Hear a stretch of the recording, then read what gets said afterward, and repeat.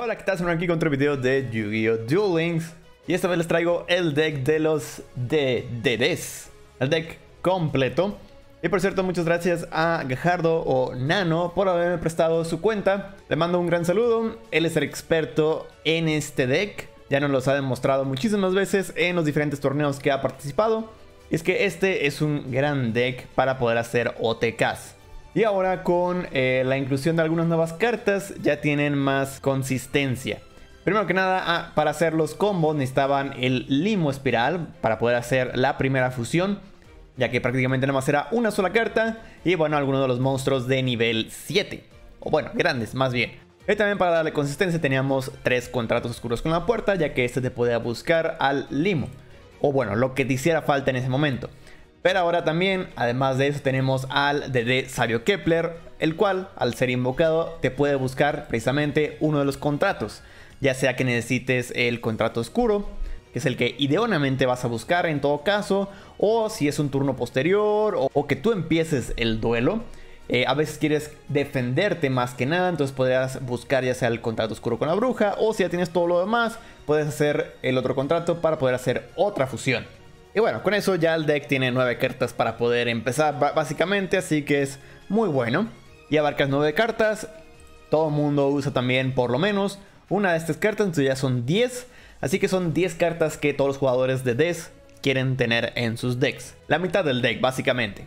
Yo considero que también esta es muy buena, ya que te puede estar limpiando un poco de campo, al igual que el Pendragón Casi siempre lo vamos a revivir y luego usamos el efecto para destruir cartas de magia trampa. Y muchas veces lo revivimos aprovechando el aullido nocturno para también hacer un sincro.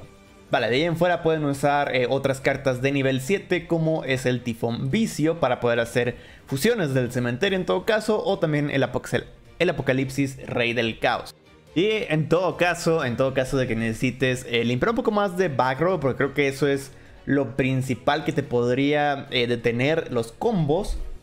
También tenemos al Ortros, el cual puede destruir una de tus cartas junto con una carta de tu oponente. Y listo, esto es para poder iniciar, para poder limpiar antes de. Las últimas dos cartas que no he mencionado son porque son cartas más por si el duelo se extiende un poco. Que son el de Fantasma, el cual te puede recuperar cartas del cementerio. Pero más bien, bueno, yo siento que se va a usar más para poder hacer otros sincros. Ahorita voy a decir qué otros sincros podemos hacer.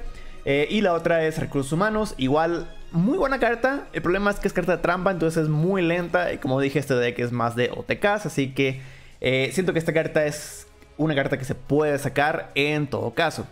Pero si se extiende el duelo, te podría servir muchísimo. Vale, ahora sí nos vamos al extra deck. Primero que nada, el monstruo que siempre quiere sacar como primer monstruo es el Genghis. ¿Por qué? Porque ese te puede recuperar un material, bueno, un recurso del cementerio. Casi siempre queremos hacer eh, lo del limo, hacer primero una fusión más que nada, crear tu cementerio y luego ya poder hacer lo demás. Entonces, cuando haces otra invocación especial, este güey te puede revivir algo. Entonces, por eso es que es muy importante tenerlo y nada más una sola copia.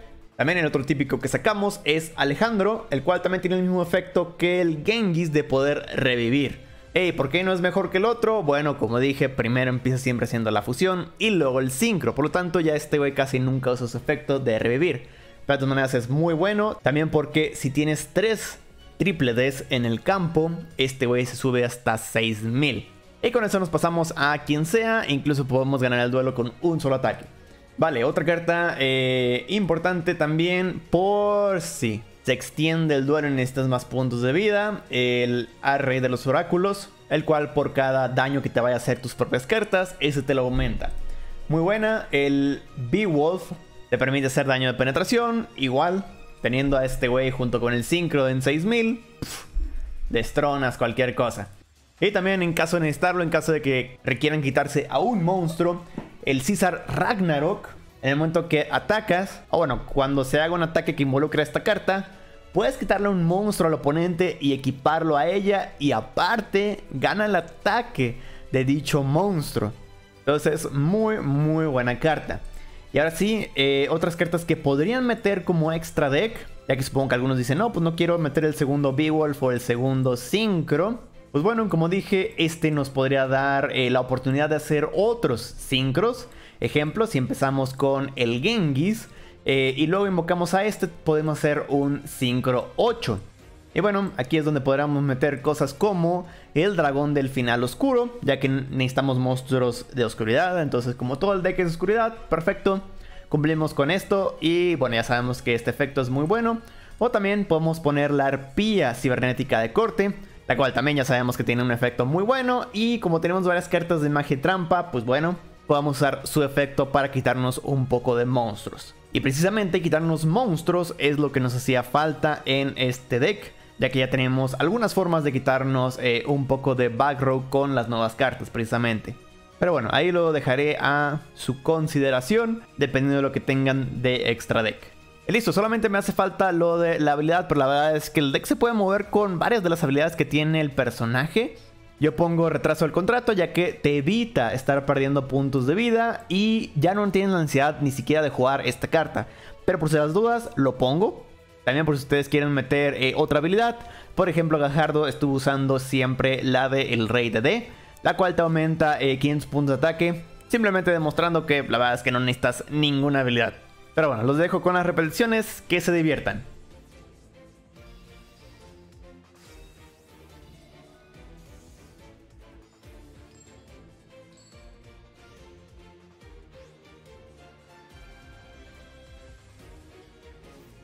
Primero tenemos una contra el deck de agua, el Water Exceed. En el cual el oponente empieza muy bien. Empieza con todos los Exceed. Bahamut. Y bueno, queda bien parado como para eliminar también un poco de back row. Queda con dos monstruos de más de 2000. Pero bueno, aquí vemos cómo hace el típico combo. Eh, primero la fusión con el Genghis. Y luego tiene el cantante para luego poder hacer el 5. Desgraciadamente el oponente no nos dejó ver todo el combo. Pero bueno, aquí les muestro otro pequeño clip en donde se muestra el combo precisamente. Eh, revive gracias al cantante, hace el sincro. Puede destruir con el de nivel 7 si tiene alguna carta de back row el oponente. Y luego de hacer el sincro, el Genghis ahora sí puede revivir a un monstruo. Revive al mismo, puede destruir más back si lo desea. Y como tiene más de 6000 eh, de ataque el monstruo sincro, pues bueno, casi siempre puede pasarse por lo que quiera. Luego tenemos otra contra otro Declan acaba. Aquí pensé que iba a ser otros de Des. Eh, pero no, luego nos sale con la sorpresita de que es... Bueno, ahorita lo van a ver.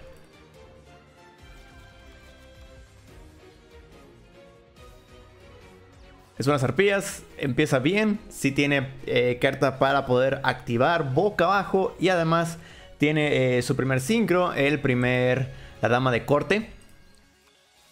Ahora sí, empieza con los DDs, empieza con el contrato para buscar al limo, el típico combo.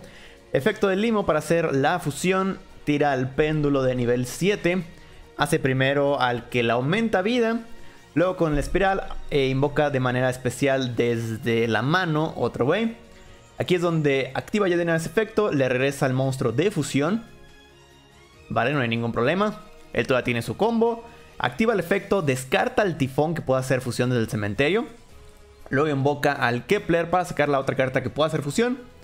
Contrato, activa, usa los dos monstruos. Tú dices, ah, ching, pero ya dejó todo el campo libre. Bueno, Genghis Luego activa el tifón desde el cementerio, haciendo una fusión desde el cementerio. Y ahora sí, tiene el Beowulf.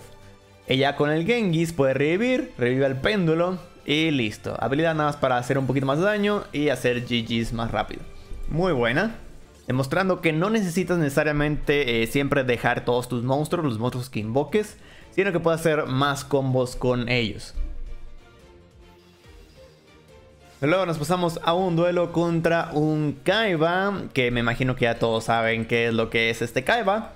Es un típico, bueno, ya, con las fundas y tableros creo que ya podemos inferir qué es lo que es, ¿va? Ya con la habilidad también nos dice, hey, sí, soy un Blue Eyes cualquiera.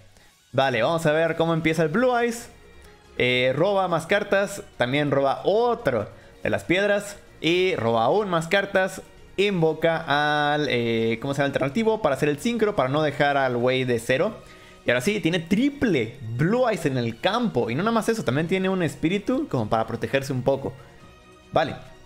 Entonces empieza el combo, busca al Limo, hace la fusión común y corriente, fusiona al Genghis. Luego invoca al Aullido, es el típico combo, Synchro. No hay carta backrow, así que no necesita destruir nada, no necesita descartar. Synchro para el Alejandro alto. Genghis puede revivir. Aquí es donde dice, ¿sabes qué? Voy a eh, cambiármelo para que no puedan destruir a mis monstruos. No hay ningún problema. Tiene el contrato oscuro.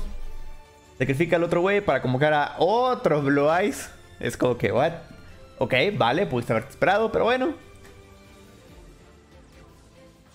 Hace la fusión, usa al Genghis en el campo. Como dije, no deja siempre lo mismo.